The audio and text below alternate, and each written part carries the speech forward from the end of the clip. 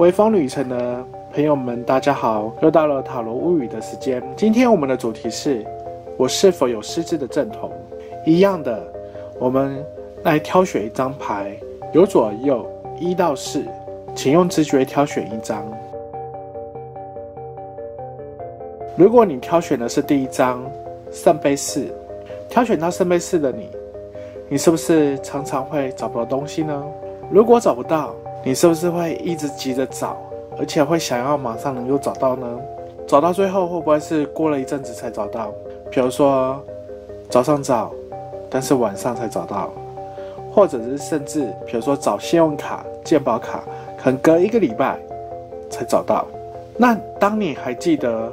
找一样东西的时候，别太担心。其实你只是一个遗忘或是健忘而已。那如果要克服这一点的话，很简单，试着将你生活中的物品习惯性的放在固定的地方。未来的话，就比较不会有这样子的烦恼。那如果呢，遇到找东西的时候，总是呢，除了找东西之外，还会怀疑是不是别人偷，或者是。你在生活中常常会担心别人会拿你的东西，然后你会把你的贵重的物品藏起来，藏到甚至你忘记，只要找不到东西就会疑神疑鬼。那或许你可能就会有失智的症头喽。第二章钱币七，抽到钱币七的你，是不是常常会忘记接下来要做什么呢？是不是有想要做一件事，可是可能是突然电话响。接了电话，或者是出门回头拿个汽车的钥匙，或是门的钥匙，那你可能又忘记说，那我等等出去是要做什么？是要出去买酱油呢，还是要干嘛？那没关系，可能花个片刻，或许你可能又想起来原本要做的是什么。那如果是这样子的话，请别太担心，你有可能是压力所造成的一个健忘。这样子的方法的话，最好的方法就是，嗯，事情呢。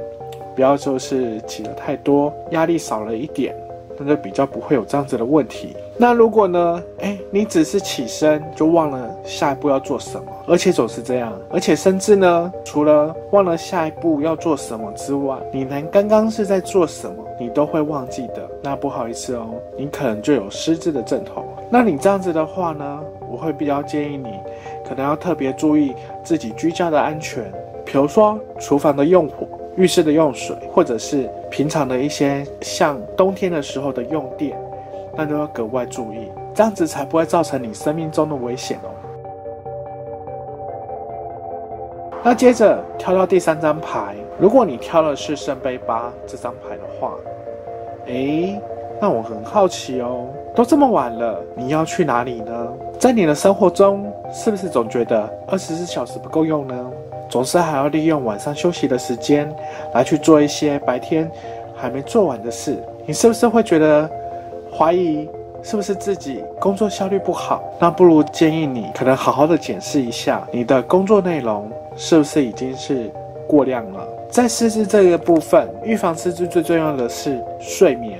睡眠对于大脑来讲是很重要的。如果说你可以好好的休息的话，那未来失智的机会就会降低一些。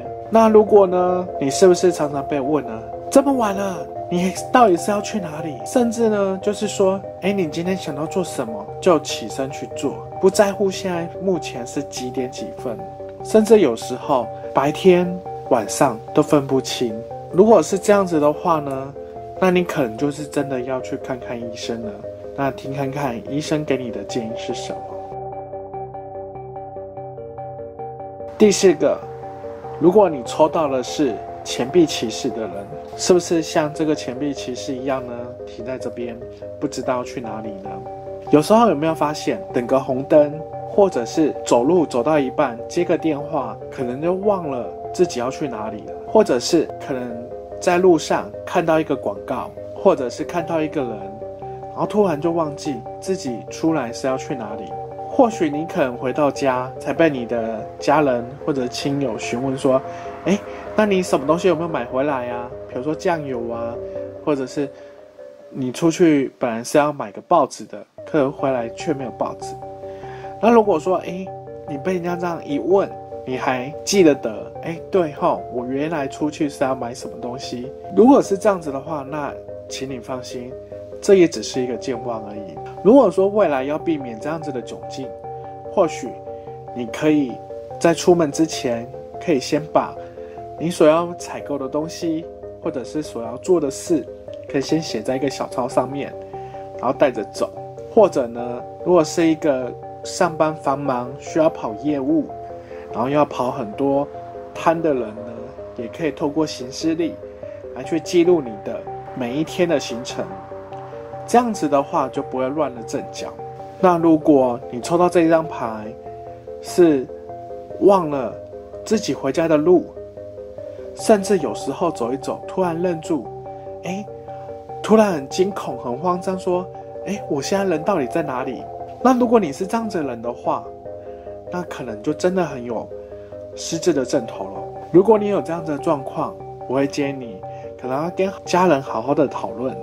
讨论一下未来的生活，然后或者是，就是把自己的一个基本资料，或者是重要他人的联络方式带在身上。